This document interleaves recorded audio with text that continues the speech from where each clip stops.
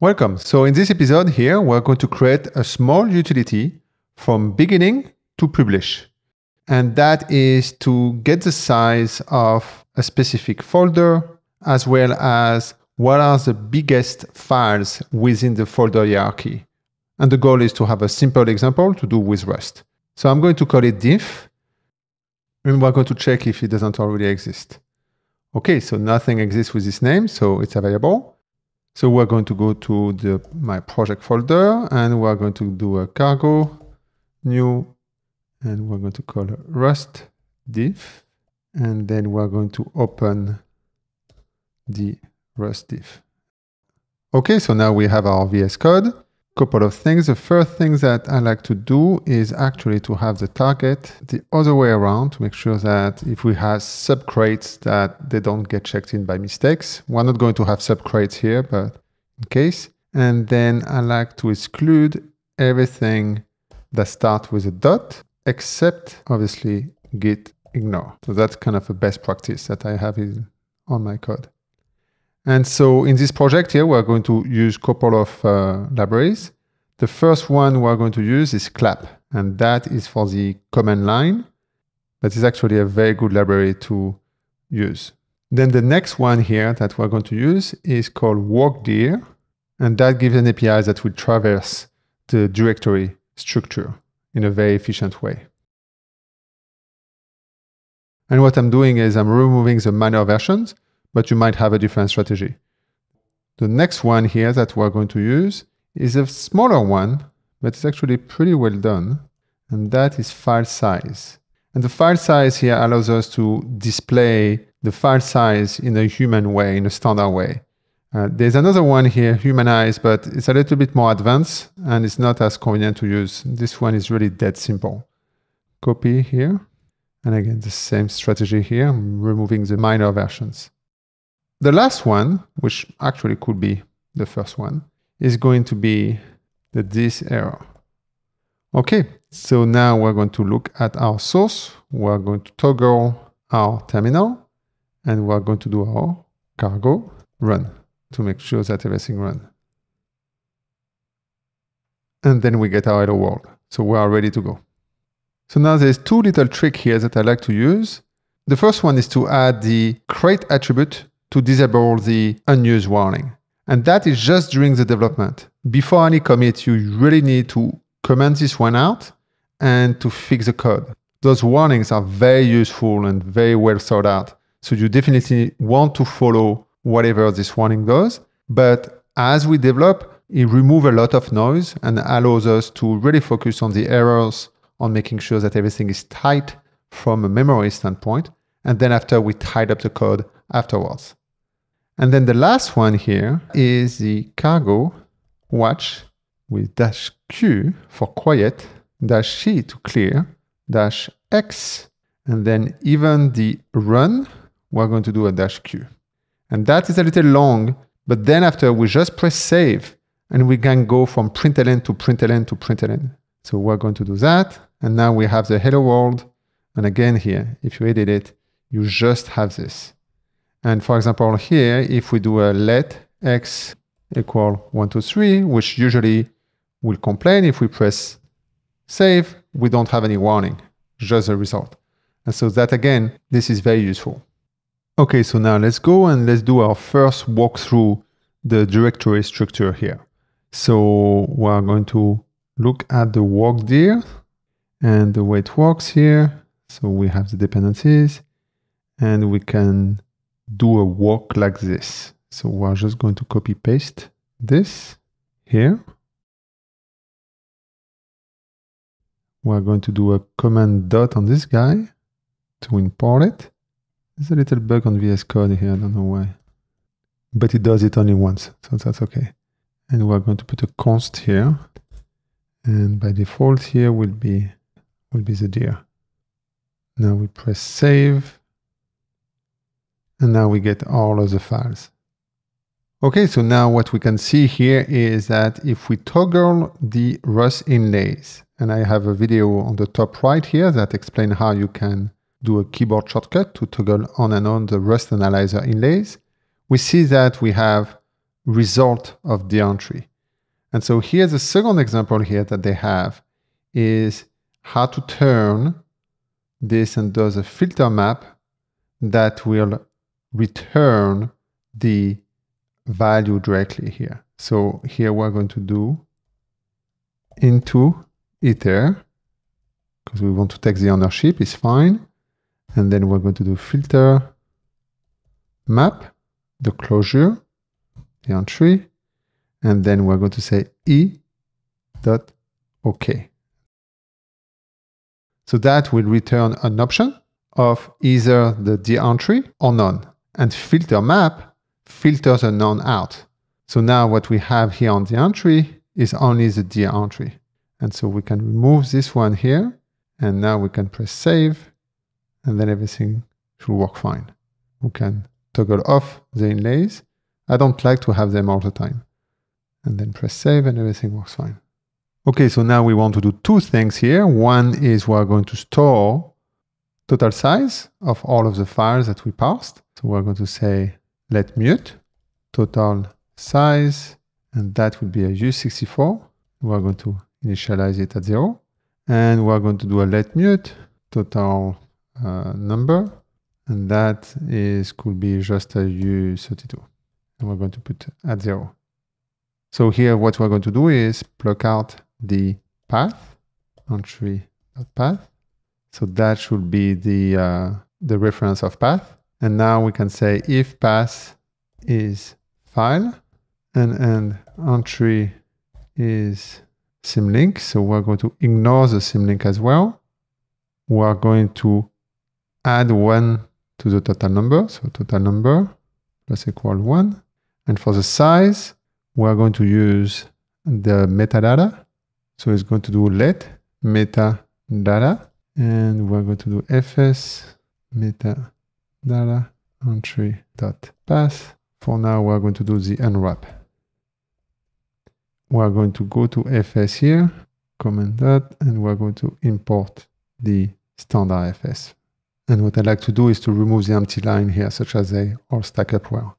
And then once we have that, we can do a total size and we're going to add metadata dot length. And if we press save, it should work. Now, obviously, we don't print anything, so we can comment this one out. This is a lot of noise. And here at the end, we can print it in. Number of files, total size, and that will be the total numbers and total size.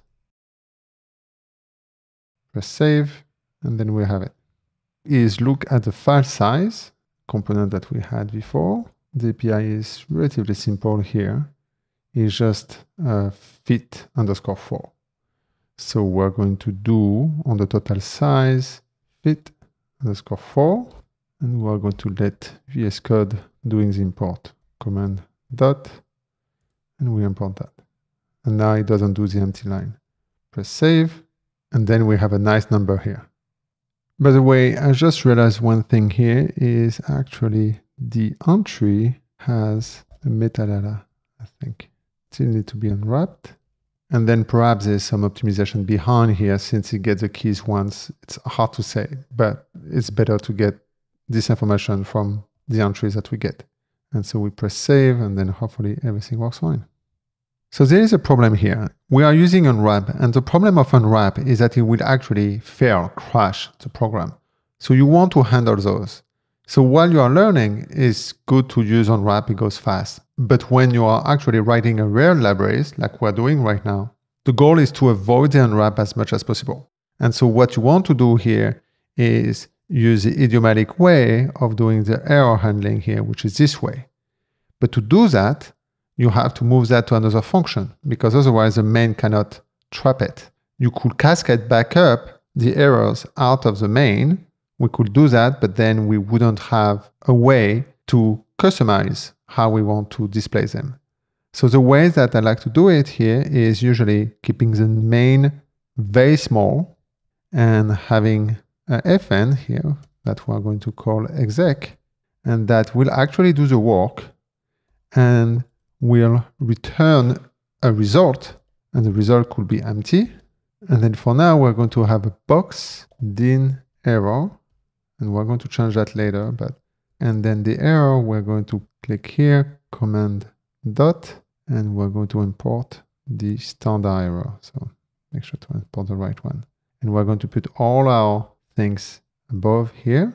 And now we can actually use the question mark, which basically will fail and will send the error here back up.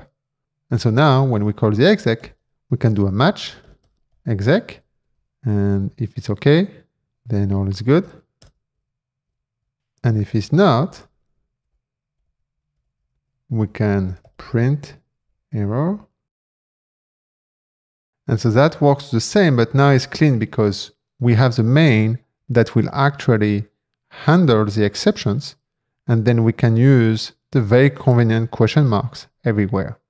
And then next, we're going to see how we can use thiserror to even make that more structured. So we press save. And here we have an error.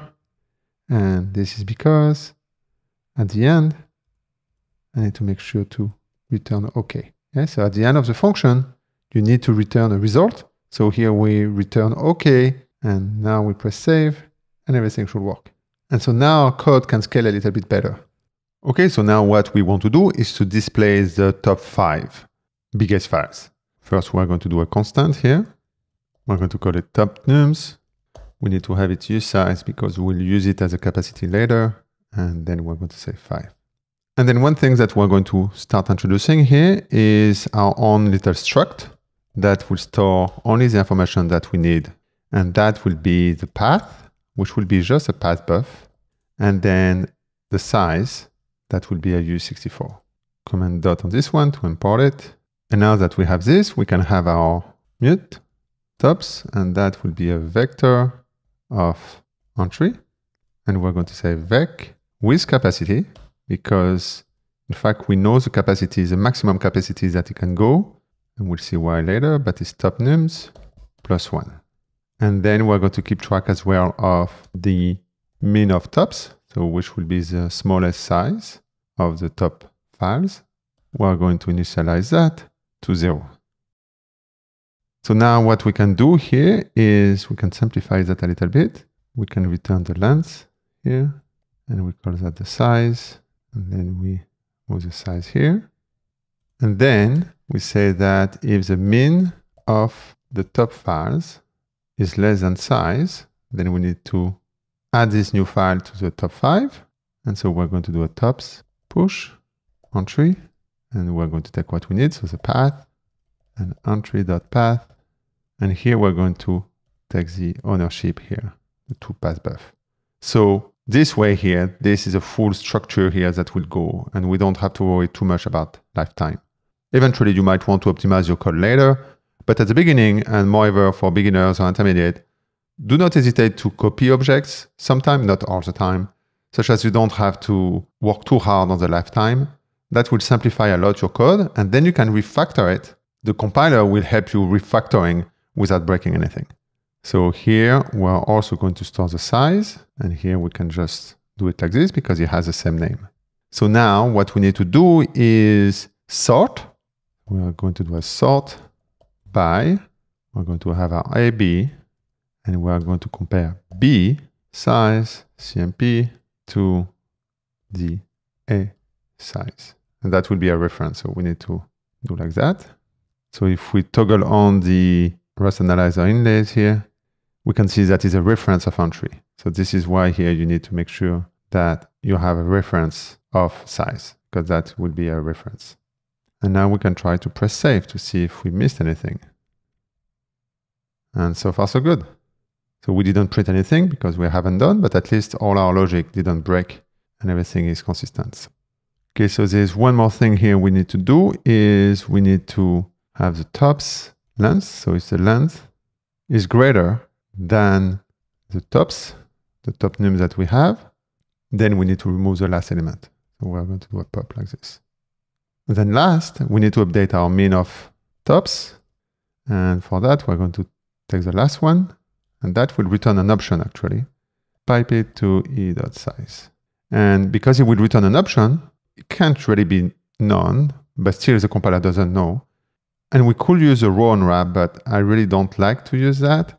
And so what we're going to do is the unwrap, but with the OR, so it will never fail. So either unwrap the value or you give the default value here zero. And so now we press save to make sure everything is fine. And now we go back here and we're going to do println top biggest files. And then we do a for and we're going to deconstruct here the size, the path in tops.iter. And if we toggle on the inlays here, we're going to see that that is just a reference, yeah, because we're using iter and not into iter. We could use into iter because we're actually consuming it, but that's fine. And then we'll do the println. And here a little trick, we're going to format it here to always have four. And then we're going to do a dash and then the file name. And this is where we're going to use our fit for that we have on the right there. Here, because it's a reference of size and we want to have and fit for take a, a full size, we're going to have to dereference it, size, and then we're going to do a path to. And here we can use a to lossy because a path string might not be UTF-88. And so if you do a to str here, it will return an option. But then after we have to unwrap it, and again, the unwrapping is not a good thing to do because it might fail once in a while. So here we can definitely use the losses that will always return a string. And we press save. That is our biggest files here from this folder. Okay, so now we have the core logic working. Now it's time to make it a real command line. And that is where claps comes in. So what we want here, so let's define a little bit what we want. So we're going to put it in the README actually. It's a good opportunity. And we're going to say usage simple info dinf will scan from current dir and list the top five biggest files. And what we want as well, set number of biggest files, and that will be dinf-n 12, for example.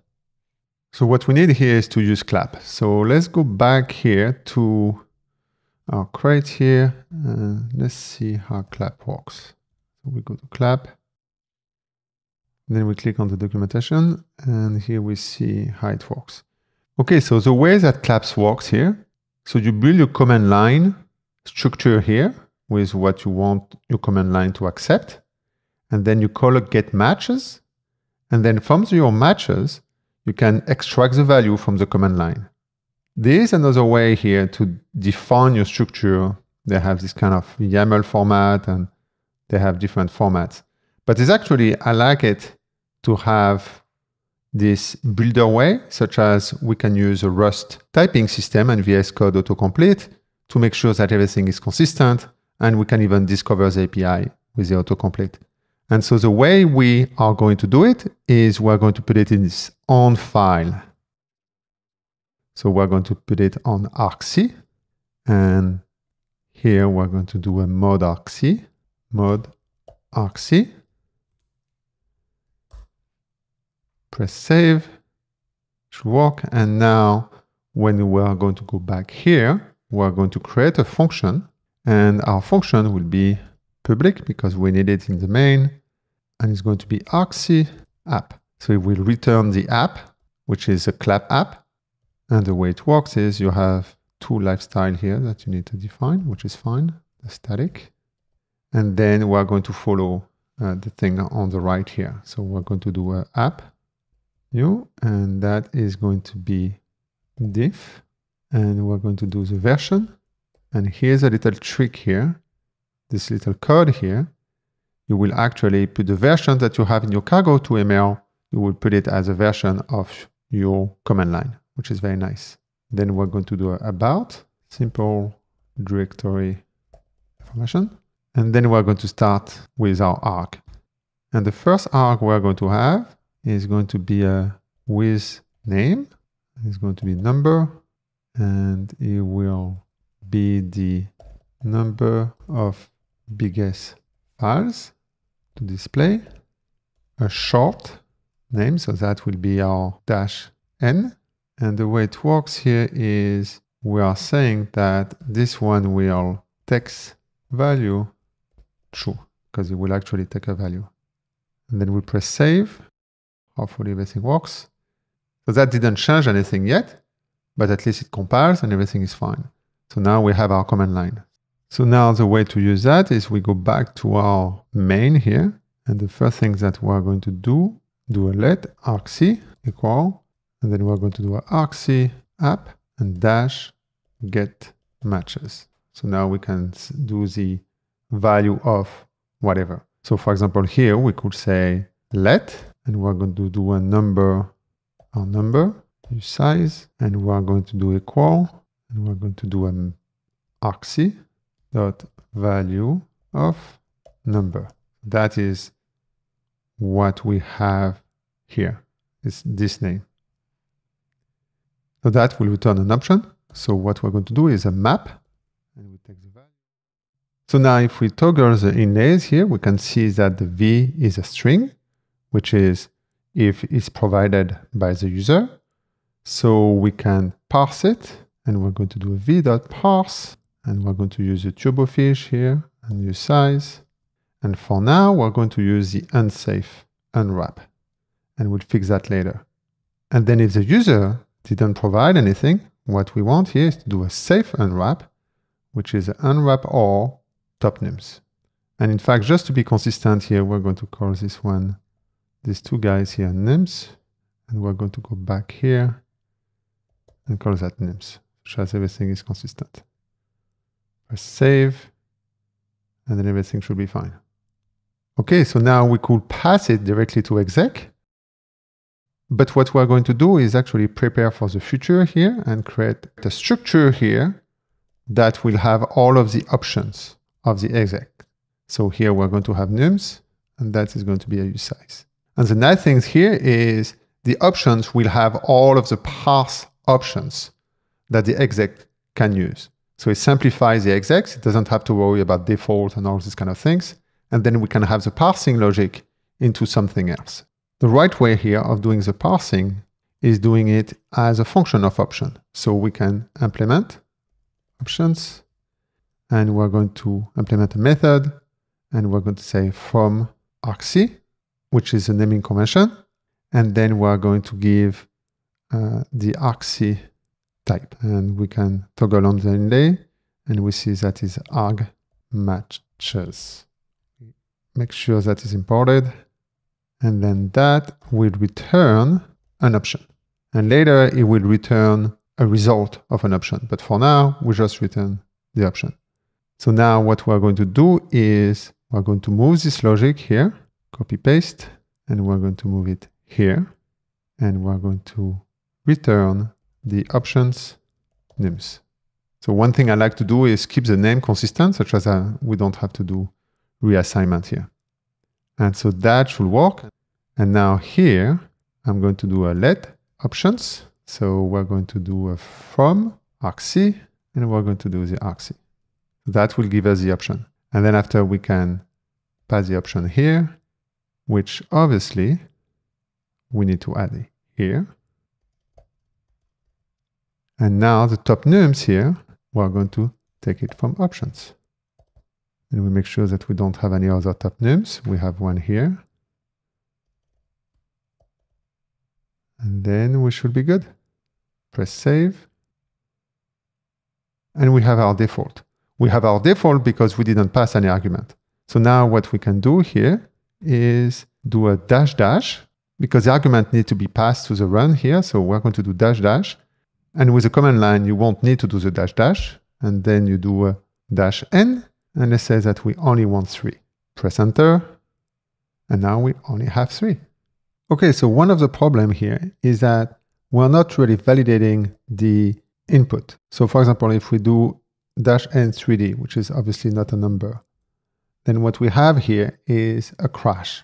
And again, Rust is safe, so the program will crash and it won't damage other things. But the error is not really user-friendly. So what we need to do is handle the exception the same way that we handle the other ones. And so the first things we're going to do here is create our own error type. And so that is kind of a best practice that I have.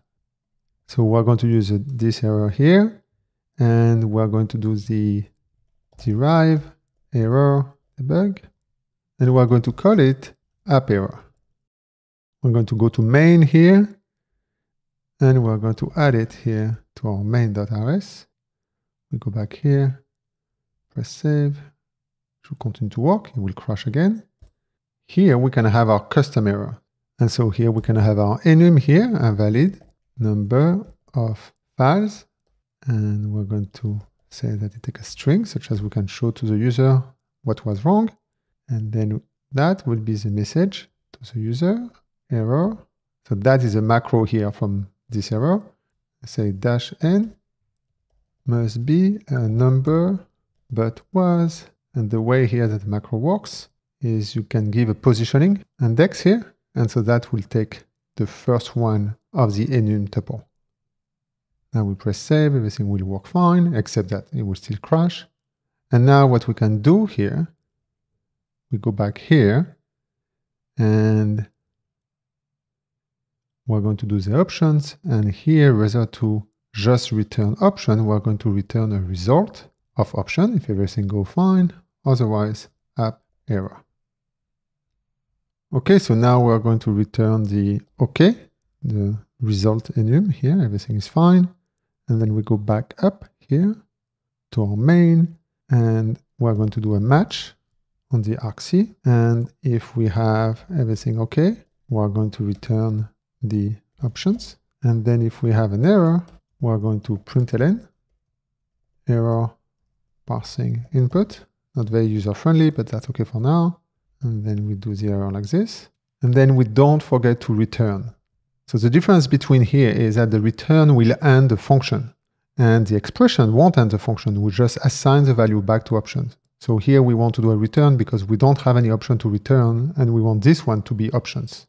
Now we press save and it works. I mean, it compiles, but we still have our nasty error here. So now we can go back here, and this is what we need to fix here. So we're going to do actually a match.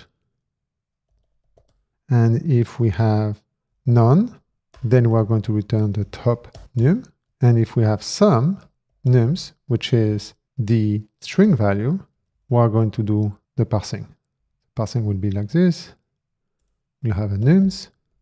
And the whole point was to avoid the unwrap here. And if everything works fine, it's fine. Otherwise, we do a or else, and that will return the error that we want. So if we have an exception here, we don't really care. And we're going to use our own error, and we're going to give the toString here, such as we can display to the user what it is that went wrong. And then we don't forget to make that an assignment here. And we actually need to return an error here. And then after we do the question mark. So the question mark here, when it's an error, what it will do, is it will end the function and return this error. So this is what we want here. So we press save. And now we have our nice error. Okay, so now we are pretty ready to release it. So now we need to clean up some code here. So the first thing we do is we're going to go and comment this one out, press save, and we're all good to go we knew where we wanted to land, so that's normal. But usually you might have some warnings and you just clean them up as you go. And again, follow that, it's very well thought out. Okay, so the next one here to not forget is to put the license. So I like the MIT license. And now we're going to clean up our Cargo.toml.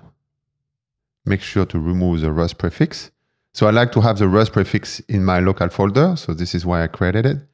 But obviously, when there's a command line, that would be silly. So make sure that you remove it. So we can specify in the package.ml what you need to include. And we're going to add our homepage here, and that will be a Rust dinf. Follow the same notation. We'll create it just later. And we're going to add a description. Simple command line to get directory information. The repository is going to be the same one as our homepage. And then we have up to five keywords. The next one is the categories. And then the last one is a license. So that we do what we had. And now we have a pretty good Cargo.toml. Press save. We're going to make a red cargo watch here because they're pressing to watch. And we can actually stop it. Here we don't need it anymore. Okay, so now we can do our first commit here. So first, let's see what we have. Git status, git commit, and we're going to initial. Oops, I always forget about this. You do git add dash a, and now you can do this. And we're going to create our repository here on GitHub. And we are going to copy this one. Might get more creative later, but so far so good. We have this, we're going to create it. And now we can copy paste this one here, add it here. We already have our main as our main branch. And so we just need to put this, push it, and then we get it there. Okay, you can go there, find the code over there. And now we're going to publish it. So to publish it here, you have to log in into Crates.io. I think is with GitHub. And then after you go to your account settings, and then you have a, a token here that you create. Then after you log in in the command line with cargo, and then check if we have the dinf. We don't have it. Nobody created it still. And so now we are ready and we can do a cargo publish. And we're going actually to do a dash dash dry run to make sure that everything is working fine. Okay, that sounds good. And now actually, before we push it here, I just want to make sure it works. So there's one thing here that we can do, which is a cargo install dash dash path and dot. And that will install this package as if it were downloaded. And so now we can test it in other folders, just to make sure that it works before we do the final push. I'm always paranoid about pushing something that doesn't work. So that will install it locally as if I had done a cargo install dinf. And we're going to do one level up and we're going to do a dinf. And everything works fine. So I think we are good to go. Do our cargo publish.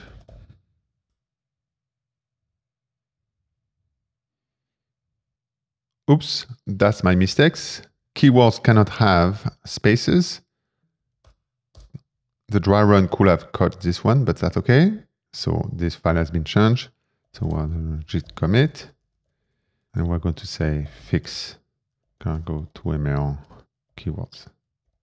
And now we're going to do a cargo publish. And hopefully that should work. And it does. So now if we go back to our terminal here, we should be able to do a cargo install dinf. And now we should be able to do a dinf. And that's it. And it works fine. Okay, so now we are done about publishing. So we do need to update the Git here. So if we do a Git status, we see that we have one ahead of main. So we're going to do a Git push origin. And that will update our main branch. And then we can tag this repository here. So we do a git tag v0.1.0. So that is the same version that we have there. And then we push these tags to GitHub. Okay, and now, by the way, if we go to crates.io and we search for our dinf, here's what we get. And that's it for this episode. Hope you liked it. Feel free to add a thumb up. Subscribe if you want to see more of the evolution of this library. I will probably create more videos about how to evolve this command line. And until next time, Happy coding.